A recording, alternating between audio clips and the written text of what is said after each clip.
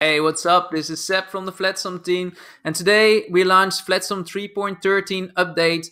Uh, we even have the Cyber Sale, Black Friday, so get that discount. Um, but I'm very excited to explain or show you how the Mega menu works. As you can see, you now can control or create your drop-down menu and you know customize it with the UX builder. So I'm really excited. And we now also have the menu element. It's a brand new element available in the UX builder. Uh, I'm gonna show you how it works.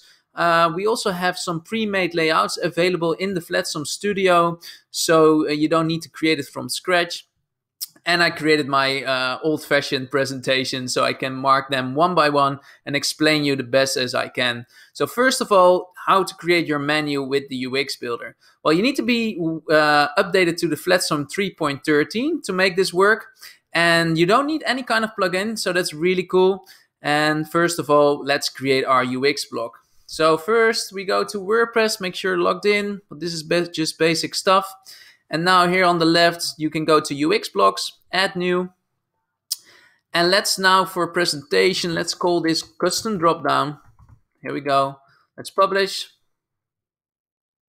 And then what we need to do is we need to open up our UX builder. So uh, let's do that right away.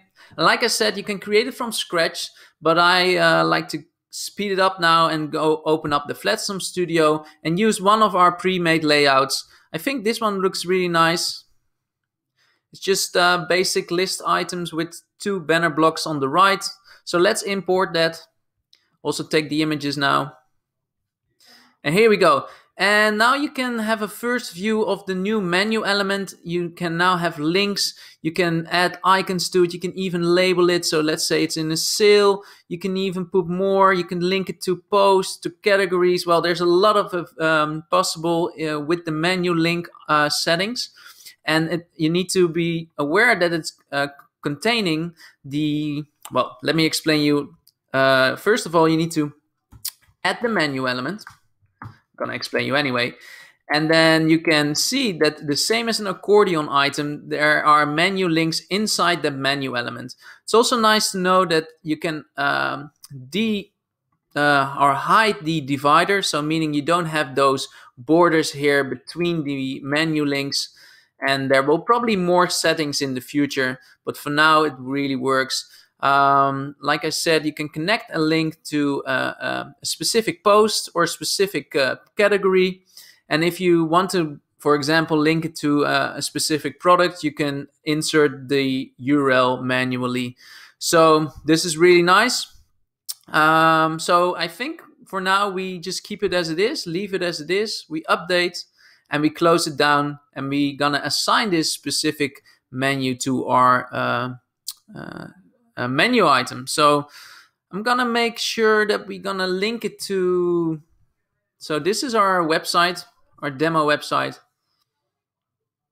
And I'm gonna link the specific dropdown uh, on this shop item link. So I go to WordPress again, appearance, menus, and then here at shop, you can just click on the arrow on the right, open it up, and then you can, first of all, you can set the design to full width, container, or custom size. The default was always the one that we had before. Uh, let's say now for uh, this specific design, we're gonna go forward with full width. And then we're gonna select that specific UX block, custom drop down, and then you can say, does it need to be revealed on a hover or on a click? So do you need to click to open it up or just to need to hover it? So I'm going for a hover. And then once ready, I'm going to save the menu. And when I refresh this page, as you can see, it's now working. Sometimes I like to go over it and then edit with UX Builder. And then you can edit that specific menu uh, in a whole website presentation view. So now you can even change it along the way and still having having a look of the header and the rest of your page. So think this covers it a little bit. Um, you can also, like I said, play around with the settings. You can say it needs to be revealed on a click or a hover. You can even set it to container width. Let me show you the difference. So instead of having it uh, Having it full width, it will be in, uh, placed in a container as you can see. And then you probably need to tweak the design a little bit.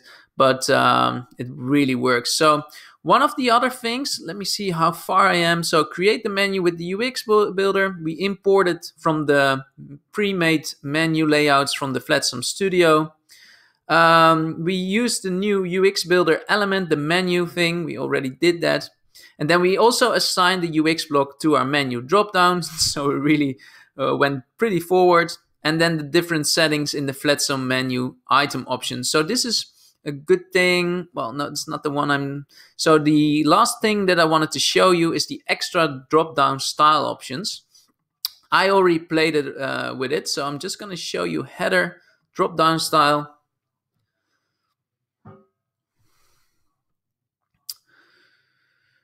So what I did is I unchecked the add border, I unchecked the add shadow, and also the arrow I unchecked. So this way um, you don't have that border.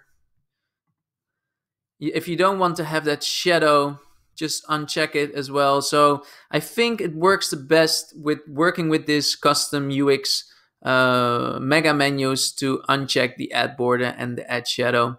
Also, you can decide to add or hide the arrow and then you're pretty much done. Um, those were the settings that I wanted to show you. And yeah, and then the add full overlay. It's really nice. I'm just gonna put this one back to the to the full width because I think that works really nice. As you can see, this works really well. And one of the cool features is that you can now add an overlay, so a full overlay on your website with hovering on the header main or the top bar or header bottom. So let's now say, okay, header main, Scrolling a little bit down, you can add overlay on hover. So just gonna show you how this works. Refreshing the page. And when you go hover it, you can even see a slight overlay putting, it's maybe difficult to see, but behind the menu on top of your website, there's even placed an overlay and it works really nice. Um, I think that covers it for now. We're done. So yeah, let me know what you think. And uh, again, we're creating uh, more and more creations along the way uh, for pre-made layouts for the uh, drop down. Um, let me show show me show us what kind of creations you are creating with the with the new drop down functionality. Pretty excited. I already used it for some websites, and uh, it just gives that extra custom feeling to your website. So thanks for watching, and see you in the next video. Bye bye.